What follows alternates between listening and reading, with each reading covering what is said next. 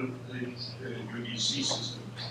The UDC classification system was uh, uh, was at that time uh, a very scientific advanced system, and uh, the basic thing was that in, in most countries, also in Brazil, Denmark, and England, many countries, there were groups, specialists who uh, developed this classification system. So it had a, a very high sample. Unfortunately, uh, it's not uh, continued, and most classes are not updated. But, this is this, this updated as the UPCs. But in, general, this kind of classification systems are not used for information people possible. Because when, when the uh, classical databases uh, began to in the 60s, then uh, they developed uh, a new kind of knowledge organizing system, uh, the Thesaurus. And uh, the Thesaurus uh, was uh, the dominant knowledge organizing technology up to the and after 1990, the classical databases challenged from like and also from the and for, for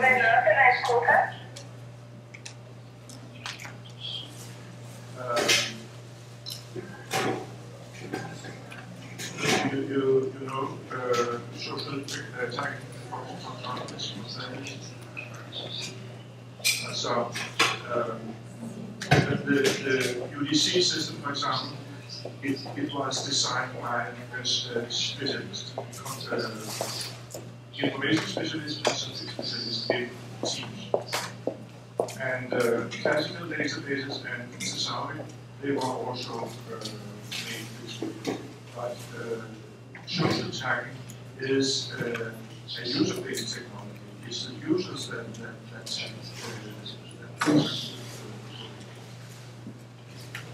Uh,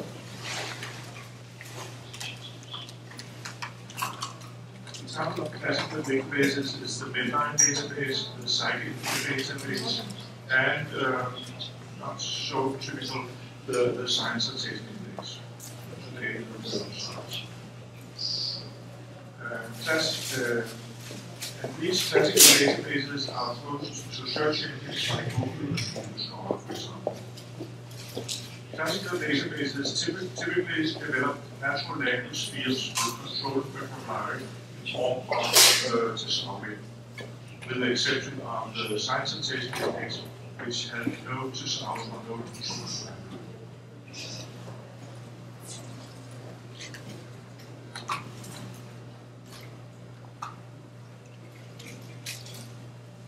classical databases with thesauri are increasingly today challenged by search engines. However, general search engines like Google are optimized for common needs and are not optimal, for example, for information about rare diseases. Has been made a special search engine for rare diseases, for rare diseases called FindZebra. Uh, and that has been shown by experiments to outperform users.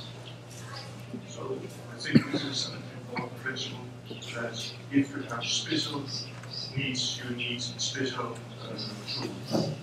So a general, a general classification system, a general search engine is not as good as one that is tailored to the specific uh, use, the specific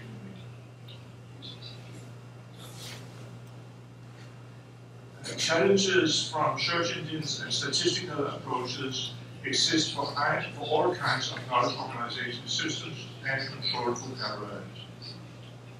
Every time you see a reference here, uh, it is in the literature list and access to, to the word presentation. And if some of you would like to, to have a, copy of some of my papers, you can just send me an email and I'll send you a PDF file with uh, text.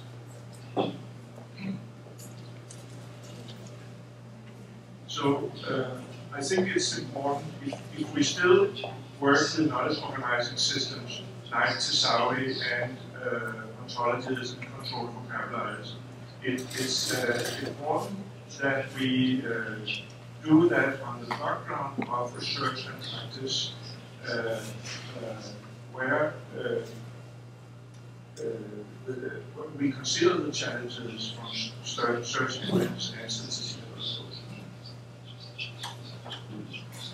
And in uh, an article from, from last year, I put forward the argument that serious information seekers, uh, such as uh, people writing medical uh, systematic reviews, they need to be in control of the search process, and by implication that exact match system should be preferred for best match system for tasks. Also, when you use a search engine like Google, you, you have not uh, specific well-defined uh, set of, of, of records, but you have a ranking of, of records. And, and I argue that for, for such serious purposes, it's important to have uh, to have uh, exact match systems.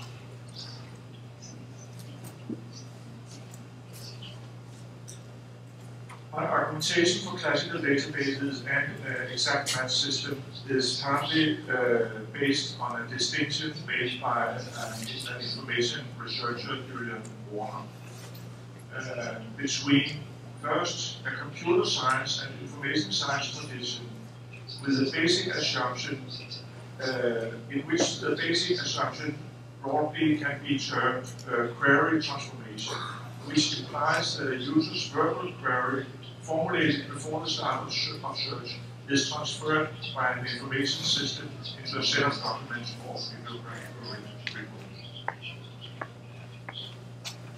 And contrary to this dominant paradigm of the computer information-oriented tradition, Warner presents a tradition that is based more on library science and on the practice of indexing. This tradition is far older but less influential today. In his opinion, there are two especially valuable elements in this tradition. The first is the explicit priority of the selection power, that the user's uh, ability to make relevant distinctions during a search. The second is the recognition of the need for human labor to create this selection power. So these are two very different kinds of paradigms in information science today. And uh, I think this, this is uh, important to uh.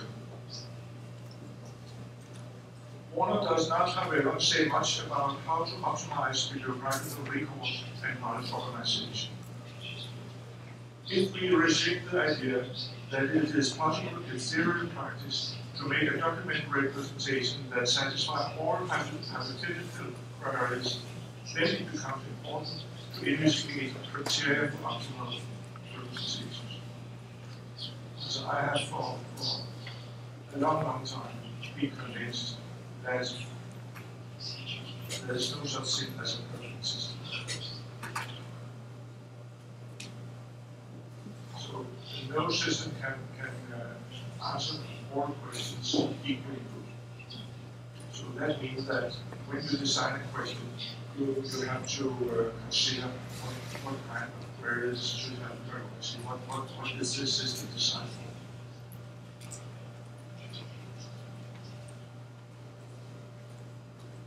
Present-day systems and possibilities are already very advanced.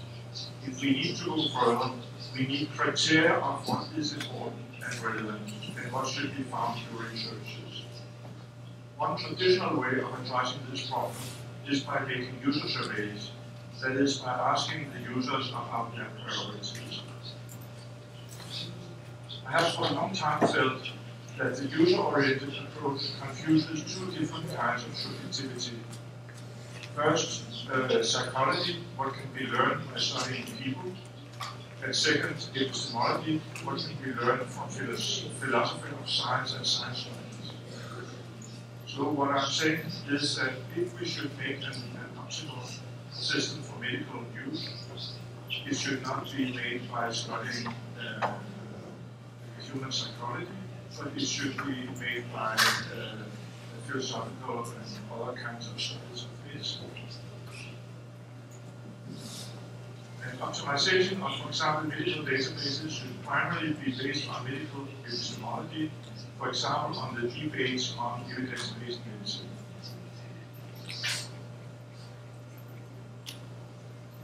So my conclusion, my first conclusion about classical databases is that traditional, traditionally the thesaurus have been the dominant uh, kind of knowledge organization system in classical databases. But in a recent paper, I argue that the traditional thesaurus is too restricted in the semantic relations it provides, and therefore uh, we need more open, more controlled-like uh, knowledge organizing systems.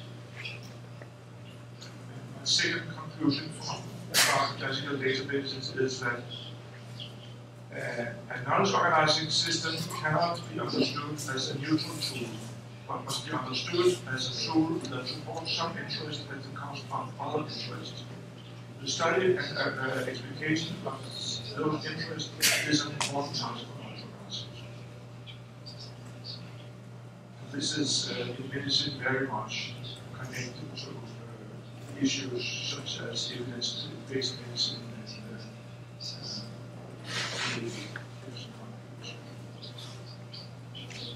uh, In the second uh, section of about knowledge organization processes, while knowledge organizing systems is now an established concept in knowledge organization, knowledge organizing process is a new generic term that I have to The idea is that knowledge organization at the general level is about both knowledge organizing systems and knowledge organizing processes. Knowledge organizing processes are processes such as constructing knowledge organizing system, but also the process of classifying single documents or items to already established knowledge organizing systems. Knowledge organizing processes are also describing indexing and metadata assignment. Knowledge organizing processes are done by humans or by computers. They may be done by information specialists, subject specialists, by age people, for example, social tech, and by algorithms.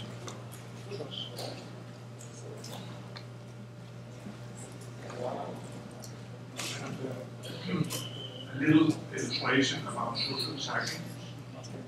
Uh, we have here the, the figure the insurance survey, and uh, it indicates that if you have quality then you reach more people.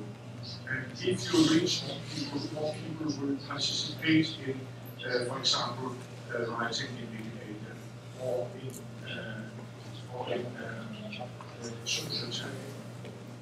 Uh, and if more people, if more people participate in social tagging or in Wikipedia, then the quality will increase.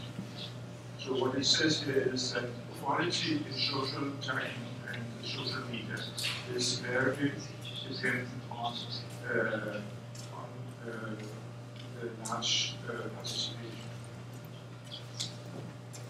So I come from Denmark, and in Denmark we have a Wikipedia, and uh, in general I consider it is a very pure quality because Denmark is, is too small a country uh, to have uh, to have many volunteers that participate in German and English and, other, uh, other Wikipedia versions are much more special. The same here for children. Knowledge organizing processes are always influenced by human subjectivity. It's a common mistake to consider, for example, algorithms as providing objective knowledge organizing systems. I have. I, I, I, I write a lot of papers, and uh, sometimes they're turned out, sometimes they're not turned out. And uh, in one of the papers, it was accepted uh, finally by the first there that, of course, algorithms are so I had to try to I I think many computer scientists would, would, would, would say this is not true. Algorithms are made by humans and reflect the programmer's knowledge, his values, and the tools available. Although algorithms differ from humans by providing a very high consistency.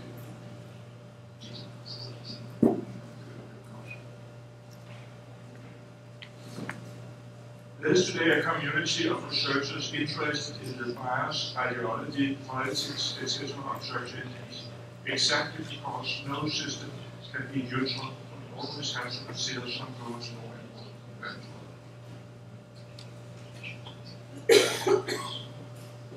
I know that you people here in Brazil uh, are often skeptical to American dominance, and uh, that you want to to develop uh, your own uh, your own systems. And uh, if you consider a system like Google, Google is a, a, system that makes some priority, and we cannot ourselves decide what is indexed on Google and how often it's. So this, has been a suggestion that all over the world should cooperate to make a basic indexing of the internet. And then we should have multiple, uh, multiple uh, search engines working. So uh, it, it is important, it is an important question that uh, uh, different search engines, they have uh, different biases, politics and so on, and that we need alternatives And today there are not, no real alternatives to Google and Bing. They, are the only uh, search engines. And any knowledge organizing system or any actual assignment of elements to classes will be influenced by human subjectivity. I, I have uh, formulated uh, it this way. Show me your, your classification consider what kind of system you are implementing. So, so there is no such thing as a neutral classification. Um, a classification system will always uh, reveal whether it's done by uh, one kind of from one side or uh, by a female or, or it will always show uh, uh,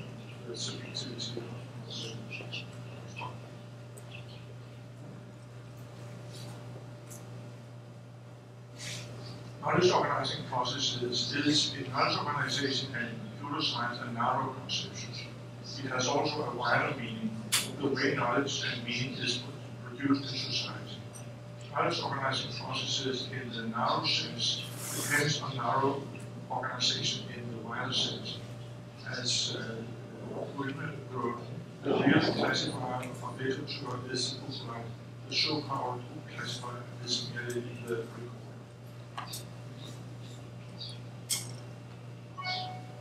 So, uh, my third conclusion is that uh, knowledge organizing processes is a generic term for all processes in knowledge organization. All the knowledge organizing processes are in subjectivity and reflect this in different ways. So, uh, I think this is my most important message that to, uh, we, we have to study how they're influenced by different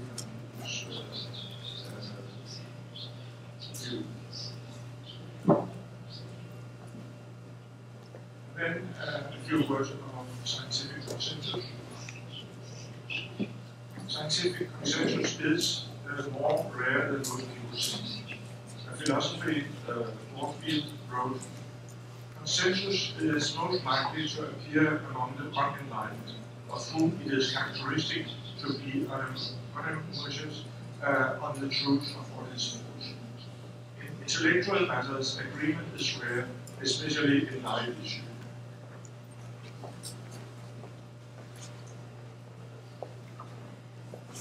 So, about scientific consensus,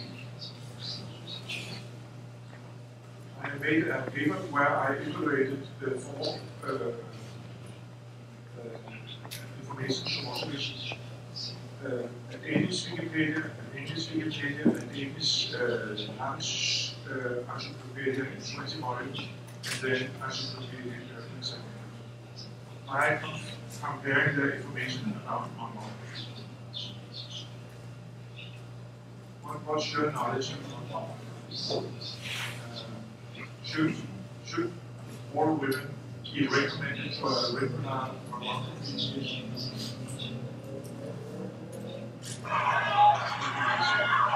Do you know what say? They, they, they, they used to say that uh, women uh, at 50 years or older should be recommended to, to, to have a, a regular But uh, has been showing that in, in some countries, including Denmark, the women that were that, that were offered mammography in, some parts of the country and the women that were not mammography in other parts of the country, they had the same uh, survival uh, uh, statistics. One study, one important study, uh, said that mammography saved no And uh, this, uh, this case has been repeated in countries now. And today there is a, a conflict. There's no consensus about whether mammography saves the life of, of the women or no. We simply do not know. And when I looked at these uh, information sources, there was only one source, and that was the indicated which says that there is a conflict between doctors in this issue. There is no consensus. And the English Wikipedia had uh, bibliographical references to both sides of the conflict.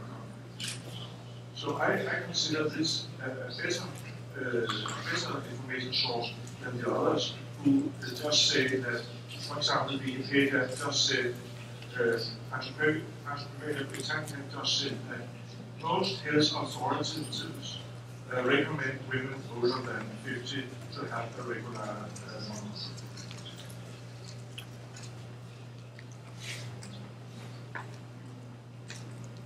So, uh, I think scientific consensus is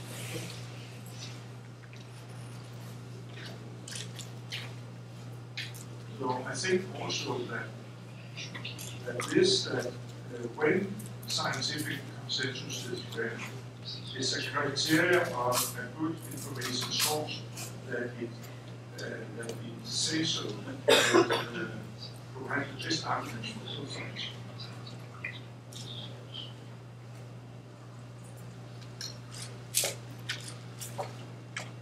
There's not just disagreement about the effect of mammography, there's also disagreement about the methodology of evidence-based medicine. Where I have a reference to uh, Detroit by Goodman, uh, and you can he, he, he write about this. This, this conflict in mammography is not just a conflict, it's not just an disagreement about whether mammography is swing. It's also a disagreement about how should a good study be done so that we know for sure whether it is uh, And here again, not subjectivity involved because different uh, systematic reviews they tend to consider uh, some study as valid and others as not, and there's not no there's uh, uh, to say which study should be.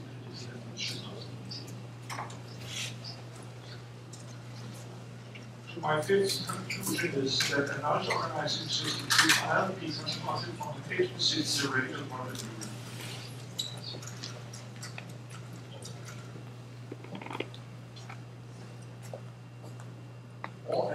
be open to different views and make controversial visible to users. And the sixth conclusion methodological issues are important to consider in indexing and translation.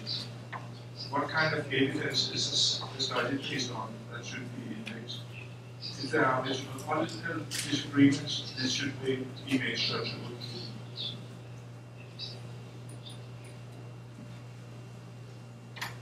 Now to uh, the fourth part of presentation, approaches to the construction of organizing systems.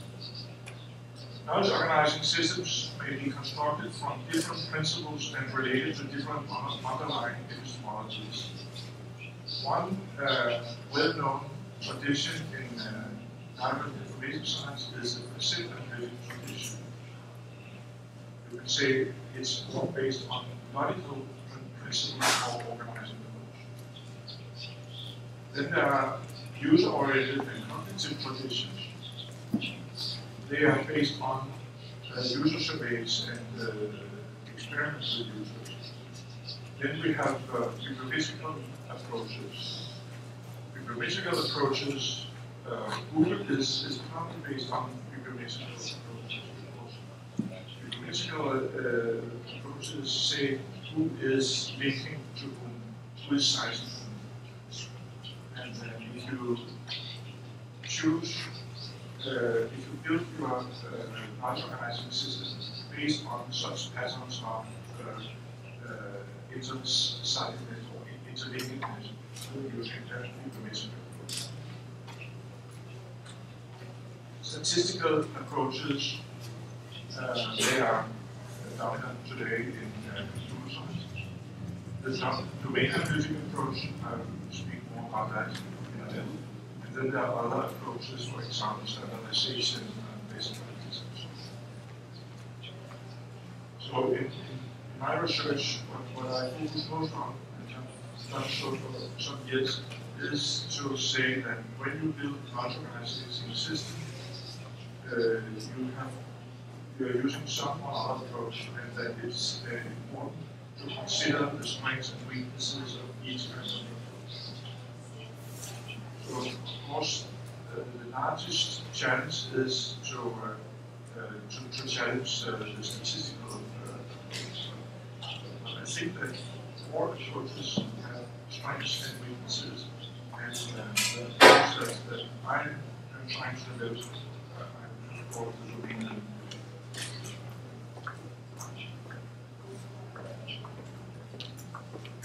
There's no doubt that statistical approaches have been extremely effective. Uh, Robinson wrote, the statistical approaches were simply, they were overwhelmingly more successful compared to other approaches such as design. However, uh, also said that there is a need for statistical approaches to cooperate with other approaches. So he made a opening for that there is a need for other approaches also.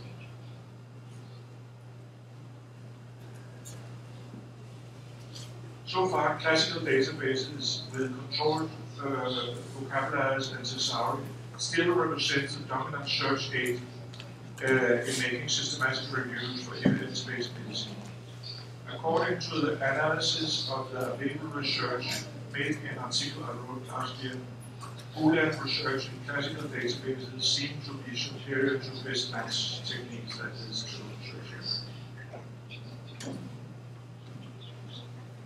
you speak to computer they would, they would be. Uh, computer scientists are always very optimistic about this. But I think it's, it's important to keep to the most, uh, to, to the best technology until otherwise uh. And uh, as I said before, I think it's important that uh, for serious purposes, such as medical research, uh, humans should be in control of the uh, research process. We should know exactly what is found and what is not found. And therefore, I think that, uh, um, this is uh, one reason that classical databases are still superior. that is said, these kinds of systems, for example, need to better co- cooperation with food techniques and also a better foundations in the philosophy of science.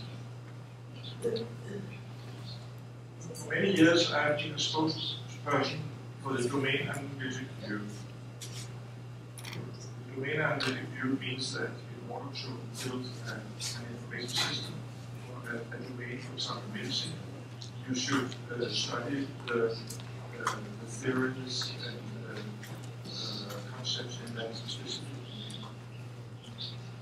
In the beginning, it was developed as an alternative to cognitive view dominating in information science about 1990.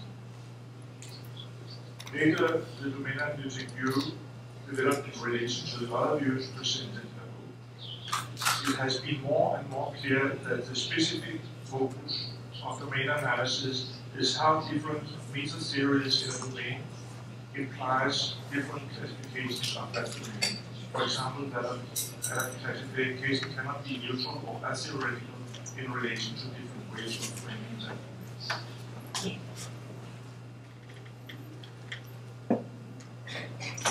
that.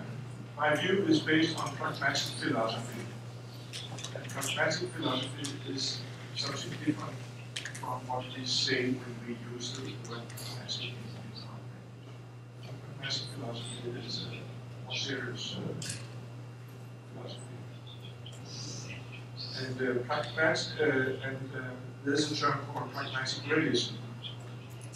And it's uh, distinct from metaphysical realism.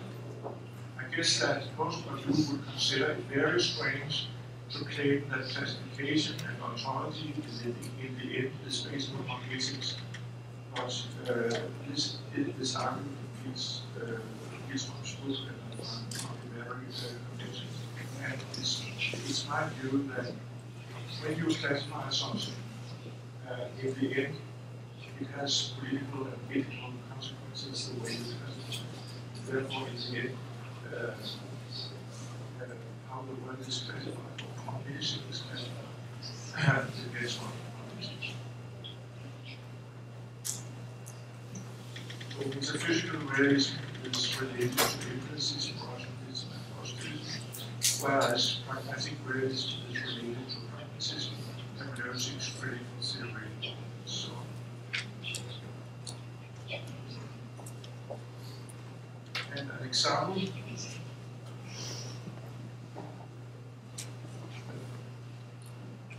if you a field, like for example, uh, information science itself, you do so by considering concepts uh, from the literature and uh, also the logic and other principles.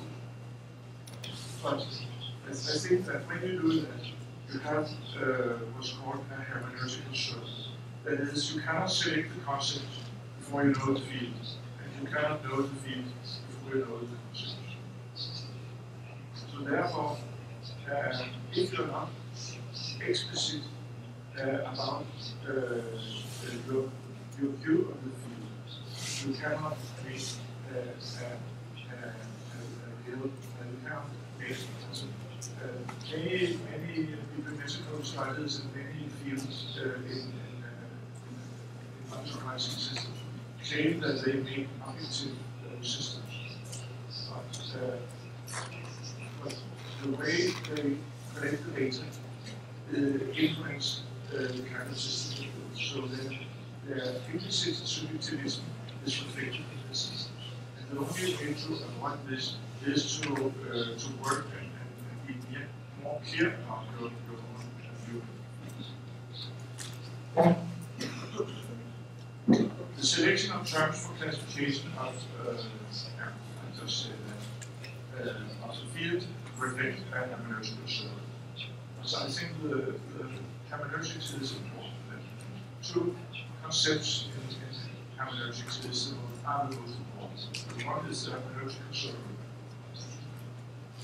Uh, and the other uh, is the, um, the, concept of pre-knowledge. That when you study something, you, you, you, you don't have um, an objective view of things, but the of things is, uh, is always influenced by the concurrent knowledge. So my seventh conclusion is that the different approaches are to a certain degree competing and uh, to a certain degree uh, supplementary. The domain analytic view is not just an alternative, but it's also a question of uh, considering these approaches as different tools, so that one tool is not the best for all purposes, and applying them in a more hermeneutical way as opposed to a more mechanical way.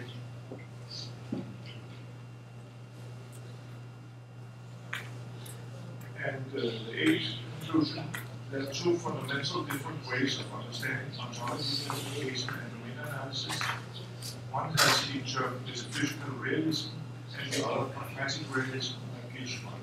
Pragmatic realism is, on the one hand, not a purely relativist philosophy, but recognizes, on the other hand, the influence of human goals and activities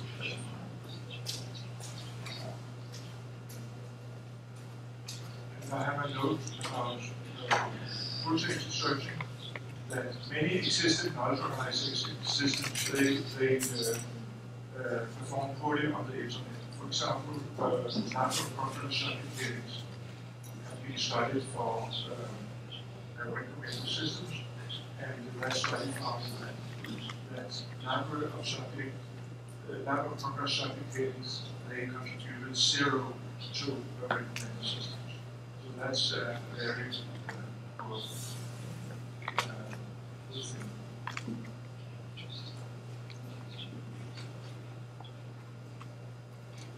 course, knowledge organization uh, will continue to play important roles in the cases where no data or no full text or two small databases are available, as uh, suggested by uh, the argument that if full text searching and algorithms can take over, there will be small fields uh, uh, they cannot take. For example, the picture indexing. But to, uh, to say that uh, knowledge organizing systems is only about those uh, small fields is, in my uh, opinion, a defensive strategy ambitious and offensive strategy is to uncover the limitations of the statistical approaches, such as uh, the assumption that document similarity can be measured objectively by considered uh, patches of words, and that the goal of searchers is to retrieve similar uh. It also warrants criticism of word transformation and the like. So from the, the, perspective of domain analysis, qualified people's conceptions of documents are extremely important for document mediation. This is obvious if we think about picture, uh, if we think about pictures of art, while text seems to be different because we use language, language for both writing text and providing metadata text. Oh, However, just as a picture does not say I'm a romantic picture, a poem does not either classify itself according to genre. And when scholars use scientific literature, they too have their norms and criteria for quality and relevance. For example, the norms associated with evidence-based Information specialists should study these norms and make it possible for users to identify what Wilson called the best textual means to this, I believe, first and foremost calls for a terminological analysis of the documents. The main studies of terminology, special languages, concept series, and the like.